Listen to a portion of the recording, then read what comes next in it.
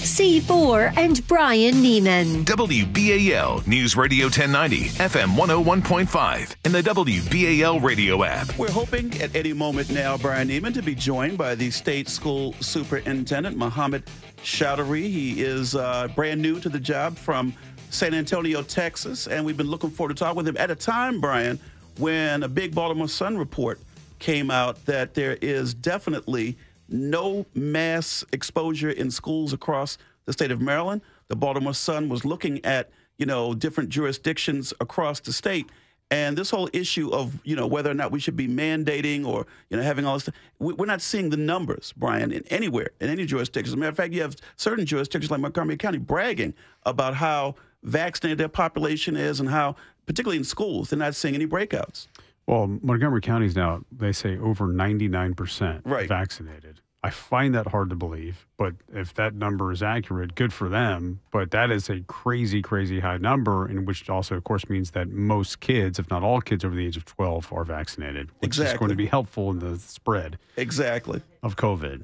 And by the way, the latest numbers from Anne Arundel County had there are only 154 active cases in the school system right now. That's a pretty low number of 90,000 plus kids. It is. And and look, when you think about where we are in the fight at this point with schools, you know, if we continue doing what we're doing, we don't need to have all the kids vaccinated. Like like you know, they're saying if we get the adults vaccinated based on numbers, Bryan, because I don't think we're going to do that when it comes to kids. And and parents are not going to get particularly the 5 to 11s as vaccinated as we think. Joining us right now, we appreciate having him on is the superintendent of the schools of the state of Maryland, Mohammed Choudhury. Good morning, superintendent. How are you?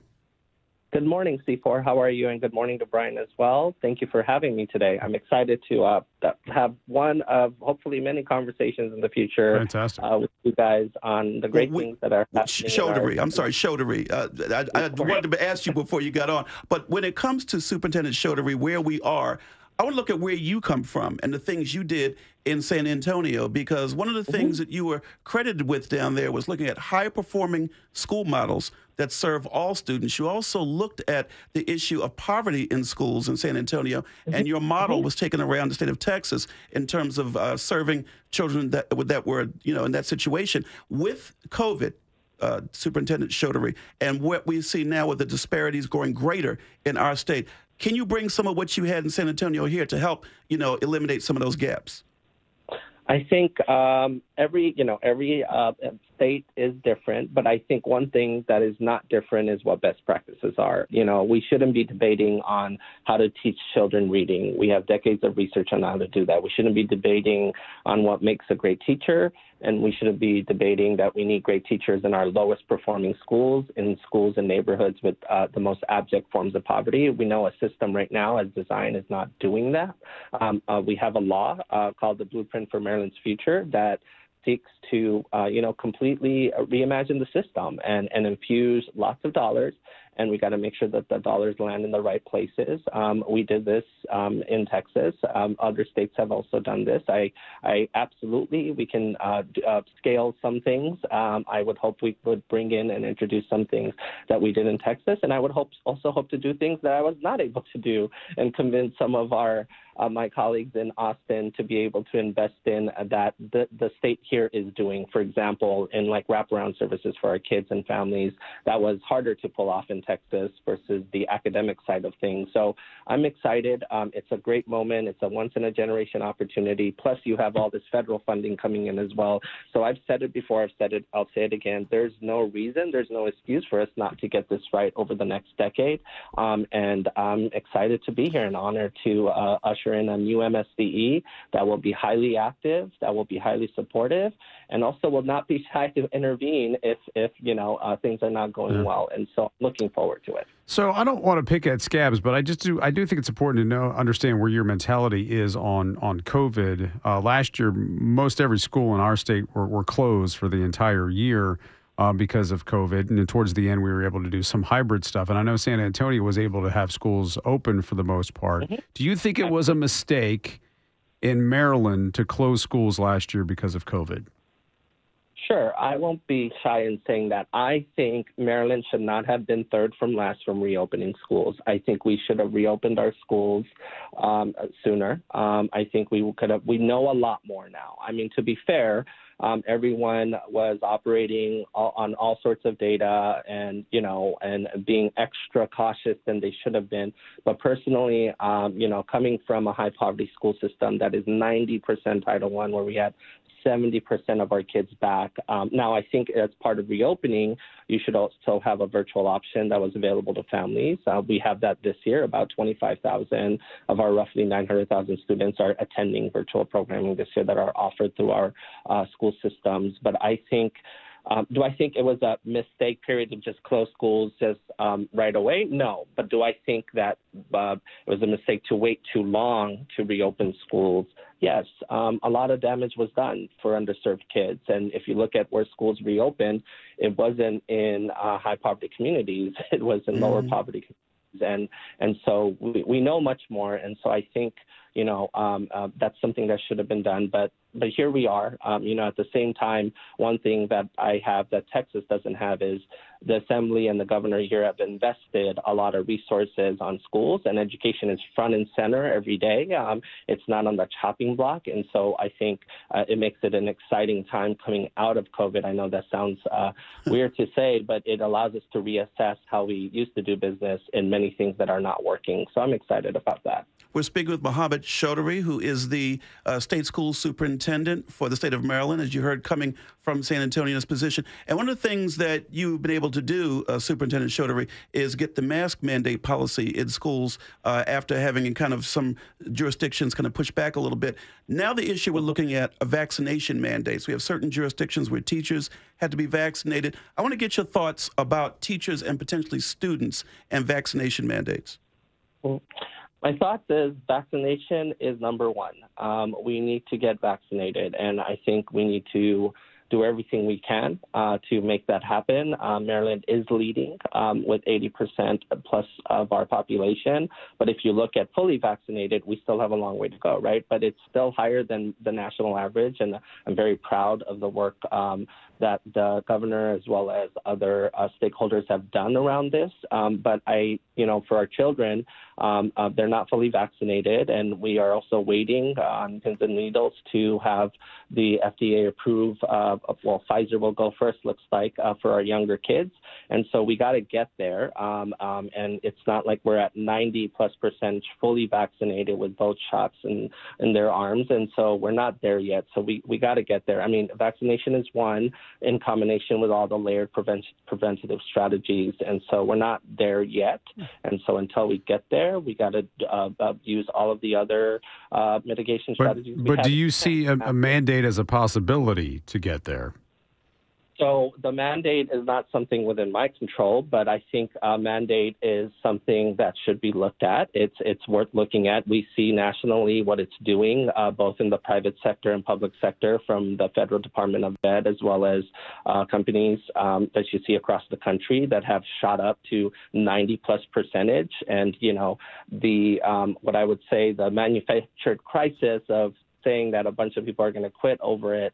Uh, that's just not happening. Yeah, there's a few, but at the end of the day, most people are committing to it, um, to doing it. If it's yeah. not your decision, whose decision would it be to say that kids or teachers have to be vaccinated in order to be in the building? Whose decision would that be if it's not yours? I think that ultimately goes all the way up to our health experts and department, right? Um, in in uh, in collaboration, I think with Annapolis. Um, but at the end of the day, I think just like routine vaccinations now and those regulations, those live with our um, health department and, and, such. But like I said, um, you know, we are. Our but you did the mask mandate, though, right? I mean, I'm sorry to interrupt, but I'm, yeah. I know there's a lot of confusion to this. People are trying to think, well, wait a second. I, I, thought the mask mandate was done by the school superintendent, so why wouldn't the vaccine, vaccination mandate be done from the school superintendent? There are no there are no regs uh, uh, that exist for a mask. Uh, there are regs that exist for vaccinations right okay. now, and those are regs that need to be looked at, and those are not within my control. And so that's just the straight up truth there. And so, uh, but I do have there there are no regs for mask mandate, and so I decided to lead on that with our board. Well, Superintendent Choudhury, one of the concerns, uh, one of the concerns about the mandate question is with with uh, the state of California, really, uh, saying that students have to be vaccinated. There was a Kaiser Family Foundation survey uh, saying that about 50% of parents who had been vaccinated would really think twice about getting their 5 to 11 year olds, that specific age group, vaccinated. So I guess the question really comes down to if we mandate this, I mean, and kids aren't in school because of it, how does that really benefit that 5 to 11 year old group? So I said mandate uh, mandating vaccine is one option to look at the table, but at the same time, just like anything in life, people want to see others go first. And so, you know, with our adult vaccinations, you know, 80 plus percent of the population is vaccinated. People, we need to bring more people around to understand that it's safe and it works. Um, you know, um, I mean, to quote uh, the governor, just get the damn thing right. I mean, it would not say that if he did not believe if it's safe for our for our families and our children and our adults. It's also the right thing to do for our community who's immunocompromised, right? It's not just for us; it's also for others. And so, long story short, you know, I, I don't think you jump to uh, mandating, but I think it's a tool to have at the table if at the end of the day that's what's needed to cross over to what we like to call herd immunity, which we're not even close to getting to yet. Um, so, but it's not something that should be taken off the table. So we are getting pretty close to getting, eh, for at least a couple of counties, to to the moderate level for the CDC, in which they say vaccinated people would not have to wear a mask in, in, indoors. What is the measurement that you're looking, the metric that you're looking at when it comes to the state mask mandate for, for school? Is is there a number that you would get to where you would you would relax it? So I have not seen the CDC drop to any other county to moderate yet. It hasn't so yet, but we're getting very close in Montgomery and Howard County. I mean, they're only a couple of ticks away from from being yellow. So so let's see what happens first as we head to the winter months. And so there's that. Do I have a specific number? No, but I am looking at vaccination rates as well in, in, in conjunction with this, um, as, including for children. Um, and so what does that look like? And so at the end of the day, I'm not going to commit to a specific on off on ramp right now, off ramp if that's what you're asking yes, right now. I am. And ultimately, it's also the board's decision too. You know, my bosses, and so so we gotta we're we're using every board meeting to monitor uh, the health conditions of every county. So that will be live on television every month, and we will look at that. But at the end of the day, I'm you know I'm in, in, in close conversation with MDH on this, and so I have not seen anyone say, "Hey, nationally, this is the great, this is the equation to take off masks." If you can point me to someone who's done that, um, and then I'm happy to have that conversation. All I, I, what I have seen is both from my own stomping grounds in the Lone Star State as well as the South, people regretting not opening schools with a mask mandate and a bunch of school closures. And we've only had one public school closed temporarily for two days um, in Carroll, but outside of that, we have not had any. And I've said not a single school should have to close down again as a result of COVID. State School Superintendent Mohammed Choudhury is on board with us. Let's talk about the blueprint for educational excellence just for a second because there's a 10 year commitment from Maryland taxpayers to this program. I was around the legislature, uh, uh, Superintendent Choudhury, for when we had the Thornton uh, funding over almost two decades ago. And so there are a lot of mistakes we made with Thornton we don't want to make with Kirwan. Number one is having the role of somebody looking at it, the inspector general. Mr. Richard Henry is the state education department inspector general. How do you see his role? Because we've had other inspector generals in our state who've been questioned about their role of looking into stuff. How do you see that particular role when it comes to this? So I first looked to the AIB and, and our state board, right? So the AIB, the Accountability Implementation Board, was specifically set up to ensure that uh, all players involved, including myself and the state board, as well as the local school systems, are uh, producing results. Um, and, and if they're not, um, there are interventions in place, such as withholding funds, as well as other things as well that, that should be on the table. So that's that's for, first and foremost for me. In terms of the OIG, um, right, that that's a different purview, right? That's looking at other things that um, have nothing to do student academic achievement and performance that has everything to do with ensuring there's not you know corruption or any other uh, ineffective uh, practices leading to corruption in our school systems and in government right? So um, it's great that we have an entity like this to look at that, but that entity's job is not to look at whether or not X school system is using the right reading strategies to move the needle uh, well. So it's it's that's not what its role is. Its role is to look at if you know there's um, a misuse of public funds happening, if if there's an you know if there's some other level of uh, you know um, inadequate practices in government happening that's leading to you know questionable practices that uh, you know that's a mis- uh, that that abuses public funds. But that's very different from uh, what the role of the AIB and the state board and my role is, which is to ensure that best practices are flourishing and being implemented and when they're not, uh, supporting people to uh, to amend their practices. Well, to, Superintendent to, Choudhury, the reason only because of time. The reason I mentioned that though is because we have not had this office of Inspector General at the state level in the past, and there mm-hmm. have been mm-hmm. issues related to monitoring exactly, you know, how curriculum is done in different places. We had many years ago in Prince George's County great inflation issues arise, and that's why mm-hmm. I'm just asking theoretically, just from the office, a position of having an oversight from that. I know you're about the AIB board. That's a whole nother. We've we've discussed that before. But this particular yeah. position, the importance as you see it of this inspector general. I think, like you just said, right, uh, making sure that uh, uh, we do not have government abuse happening in our state, um, and I think it's an important role to look at. And I hope that is something um, that continues on. Um, it's important to make sure that people are not abusing public funds and we don't have corruption happening in government. And I and it's great that people can you know uh, go to an office and make a complaint and they can go investigate and look to see what the problems are if there are any and and then hopefully lead to solutions.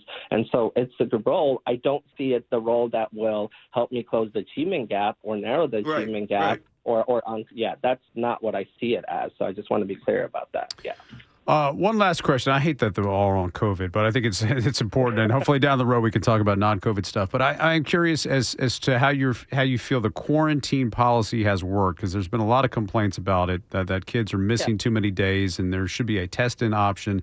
Do you think the quarantine uh, protocols, and I know every county is, is pretty much different, though, need to be um, basically either shortened or or uh, abbreviated when it comes to how long these kids are out?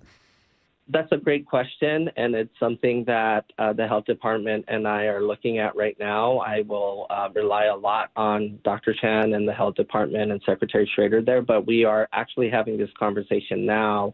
We even met with the superintendents on this on, on a modified quarantine rule. So we are actually guidance, I should say. So we are looking at that, given what we know now about, you know, uh, when we're looking at kids and their positivity rates being low and such. So I think it's time to introduce uh, a modified quarantine rule um, or guidance. Um, uh, other states have done this and jurisdictions have done this across the country. And I think um, we know a lot. We know enough to be able to do this rather than having to say, you know, the kid should automatically go and be quarantined for 14 days. Um, uh, we, we, we should it's time for an update on that so um, and we are looking at that and i am hoping in the coming weeks we can release something Maryland State School Superintendent Mohammed Choudhury. This is our initial time to discuss things with you. Hopefully, we get you back and we can talk about school enrollment and how Blueprint for Excellence is moving forward and a variety of other issues. But thank you so much for the time you spent with us this Great morning. to have you on. We appreciate your time tremendously. Thank you, C4 and Bryan. It's great to uh, meet you, and I'm looking forward to our future conversations. Thank you. I appreciate it. Look, we want to get your reaction to what you heard. And like I said, I wanted to focus on the Inspector General position, Bryan, for a reason. And we'll talk more about that in a moment.